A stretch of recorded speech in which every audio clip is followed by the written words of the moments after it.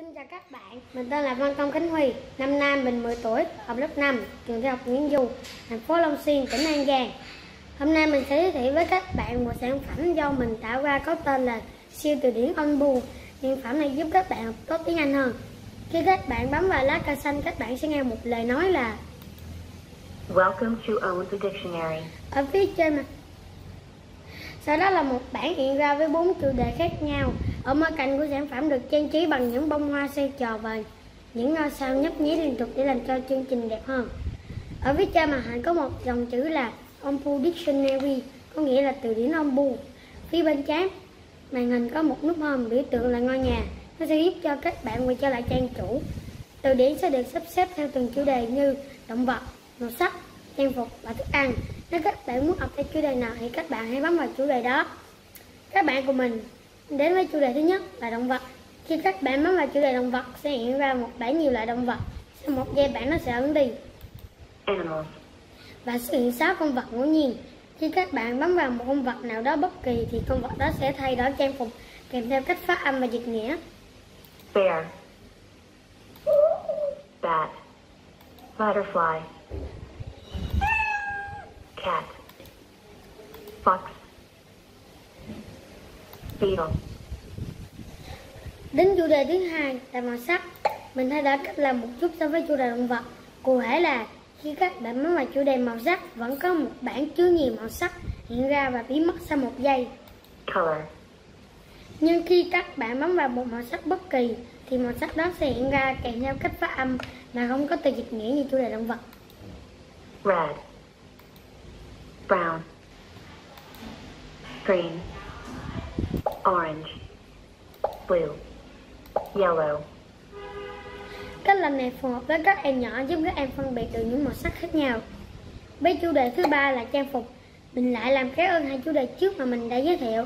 Các bạn cùng mình các bạn cùng mình tìm hiểu về chủ đề này nhé. Sau khi bạn tổng hợp trang phục biến mất Clothes. thì các bạn sẽ thấy sáu nút trang phục và người mẫu hiện ra. Điều thú vị của chủ đề này là khi bấm vào các nút trang phục thì trang phục đó sẽ hiện ra kèm theo cách phát âm và dịch nghĩa, sau đó sẽ di chuyển đến người mẫu. Shirt.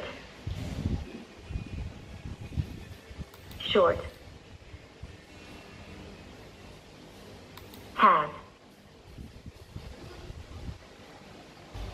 Pants. Shoes. scarf. Cách làm này giúp các em nhỏ mặc đúng trang phục của mình. Đến chủ đề cuối cùng là chủ đề thức ăn. Mình làm tương tự với chủ đề động vật, đó là vẫn có 6 nút lạnh thức ăn. Khi các bạn bấm vào nút lạnh thức ăn bất kỳ, thì thức ăn nó sẽ xoay 360 độ kèm theo cách phát âm và dịch nghĩa. Egg.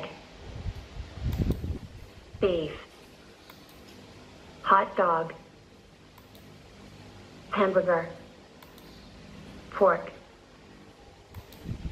Sausage. Với sản phẩm này, theo mình, chương trình nó mật nhất là khi lập trình cho trang phục di chuyển đến từ mẫu thư đồ vì khối lệnh này khá dài và phức tạp. Nếu như chỉnh sai tọa độ XY kỳ cả khối lệnh sẽ sai toàn bộ. Khối lập trình này bắt đầu bằng khối lệnh đi tới điểm XY với X bằng âm, âm 34, Y bằng âm 65. Đó. Với sẽ chúng ta sẽ thêm vào khối lệnh chuyển sang trang phục để chuyển sang trang phục có từ dịch. Và sau đó chúng ta, và sau đó chúng ta sẽ nói từ tiếng Anh. Scraft. ghép thêm khối lệnh đợi một giây thì sau một giây sẽ chuyển sang trang phục không có từ dịch. Và sau đó sẽ lướt cho một giây tới điểm X là 118 Y là 22 đây chính là tọa độ của người mẫu. Ghép lại ghép thêm khối lệnh thêm một giây nữa. Thì sau một giây trang phục đó sẽ đi tới điểm X là 101 Y là âm 100 rồi sau đó chuyển sang trang phục custom mode để quay lại quay trở lại vị trí ban đầu sản phẩm của mình mắc một lỗi nhỏ là khi bấm vào nút lệnh shirt và band trong chủ đề trang phục thì hai trang phục sẽ chồng lên nhau Pants. Shirt. Ý tưởng phát triển bài này của mình là làm tăng hứng thú cho việc học tiếng Anh, nhất là đối với các em nhỏ. Các bạn có thể vừa học vừa chơi, nhắc sản phẩm giúp cho việc học tiếng Anh trở nên dễ dàng hơn và các bạn có thể học tiếng Anh tốt hơn. Bài thuyết trình của mình đến đây là kết thúc. Cảm ơn thầy và các bạn đã lắng nghe. Rất mong sự đóng góp ý kiến từ thầy và các bạn để sản phẩm của mình hoàn chỉnh hơn. Xin kính chào.